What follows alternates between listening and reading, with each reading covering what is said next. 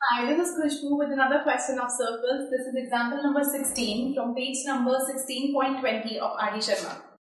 This says, two concentric circles with center O have A, B, C, D as the points of intersection with line L as shown.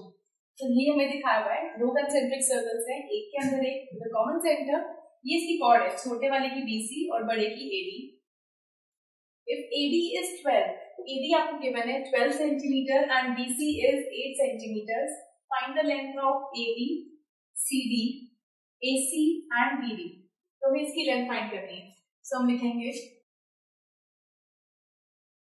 since a perpendicular drawn from center of a circle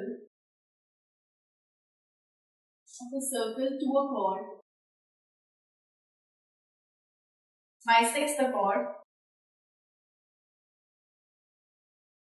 therefore आपको पता है कि ओ M perpendicular है।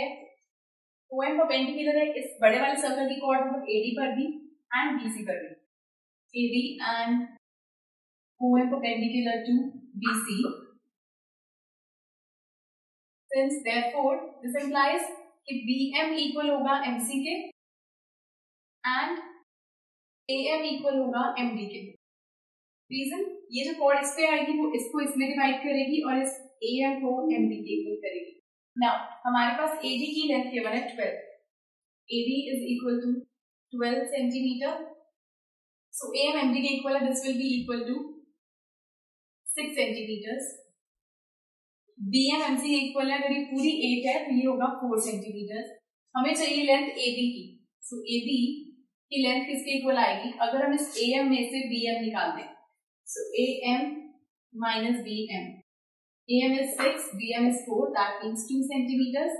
Now CD निकालना हो तो MD में से if we subtract इस MD में से MC निकाल दें so MD MD is MD की हमारे पास लेंथ है 6 and MC इस MC की लेंथ हमारे पास है 4 so this is also 2 centimeter now AC AC का मतलब है BM plus MC AB plus B M plus M C तो A B plus B C A B plus B C now A B की length हमारे पास है to and B C की length B C पूरी B C हमें given है eight this will be ten centimetre now B D B D की length is B C plus C D so, this is BC plus CD.